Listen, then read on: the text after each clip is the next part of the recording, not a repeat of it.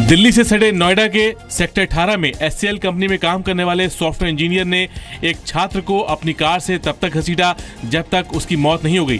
हादसे का शिकार छात्र एमिटी यूनिवर्सिटी में बीटेक थर्ड ईयर का स्टूडेंट था। हादसे के बाद सॉफ्टवेयर इंजीनियर ने भागने की कोशिश में एक फॉर्च्यूनर कार को टक्कर मार दी। पुलिस के मुताबिक वो नशे में था, उसे गिरफ़्तार कर लिया गया है। दक्षिण दिल्ली में एक ऐसा सीरियल ठग पकड़ा गया है जो तकरीबन 30 से 35 अलग अलग केस में वांटेड था।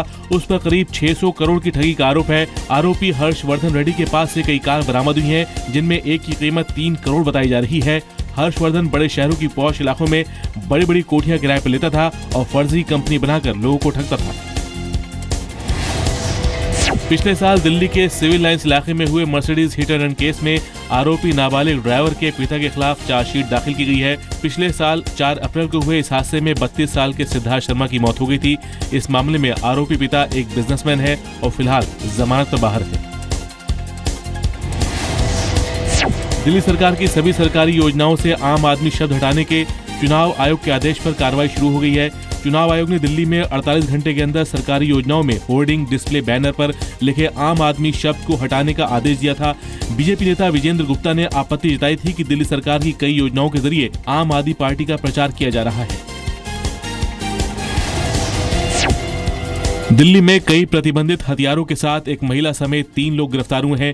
इनके पास से दो कार्बाइन, छत्तीस पिस्तौल और दो रिवॉल्वर बरामद हुई हैं। ये हथियार एमपी के खरगोन और सेंधवा से दिल्ली एनसीआर लाए जा रहे थे। ये हथियार ट्रक की बैटरी में छुपा कर रखे गए थे।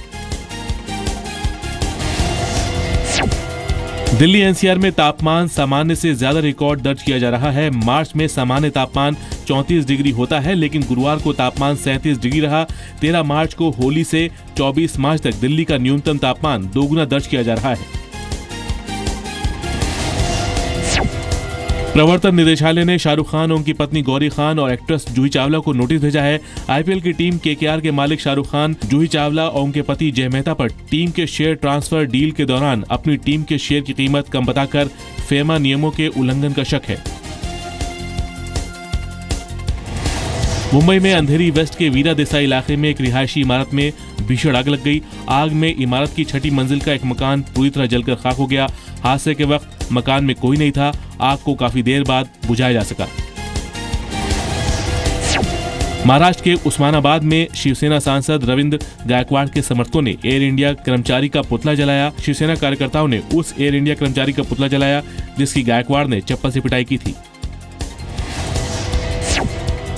मुंबई में इस्माइल यूसुफ कॉलेज के गेट को लेकर विवाद शुरू हो गया है। कॉलेज के गेट पर स्वास्थ्य का निशान लगाया गया है। आरोप है कि कॉलेज एक मुस्लिम समाज सेवी के नाम पर बनाया गया था और राज्य सरकार स्वास्थ्य का निशान लगाकर इसका भगवाकरण कर रही है। वही सरकार ने मंत्री और स्थानीय शिवसेना विधायक रविन्द्र वायकर, जिनकी डोनेशन से गेट बनाया गया है, उनका कहना है की कुछ लोग जानबूझकर इसे सांप्रदायिक रंग दे रहे हैं।